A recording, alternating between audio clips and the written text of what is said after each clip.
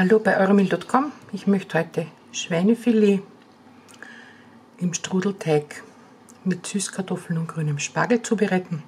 Und wir brauchen dafür Schweinefilet, Bauchspeck, Ei, gedämpfte Süßkartoffeln, frischen grünen Spargel, Creme fraiche, Salz, Pfeffer, Strudelteigblätter und Öl zum Anbraten.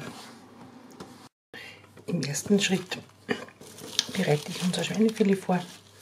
Und ich habe mir jetzt ein Gitter aus dem Bauchfleisch gelegt. Und da drinnen hole ich jetzt das Schweinefilet möglichst fest ein. Ich habe Öl in der Pfanne erhitzt und da werde ich es jetzt rundum langsam anbraten. Während unser Fleisch rundum langsam dreht, bereite ich die Süßkartoffelmasse vor. Dafür habe ich mir Süßkartoffeln, das ganze Ei, die Creme Fraiche, Salz und Pfeffer in eine Schüssel gegeben. Und so drückt das alles.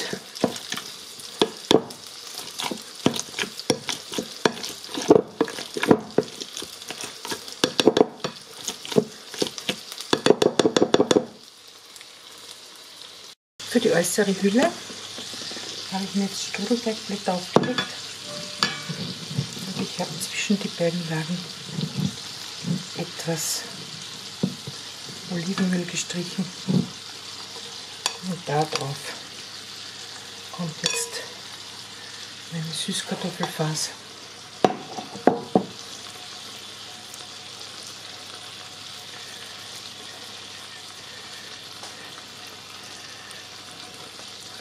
Ich habe auch frischen grünen Spargel. Das ist wirklich ganz frisch von meinem Spargelbauern. Und ich habe ihn nur ein bisschen geschält und in Stücke weggeschnitten.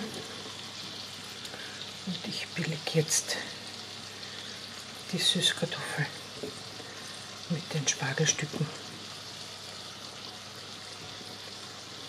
Der Spargel, gerade ja beim Braten, Daher habe ich ihn nicht blanchiert und das Fleisch habe ich rundum angebraten. Und das kommt jetzt auf meinen Strudel. Und ich werde ihn schön einrollen.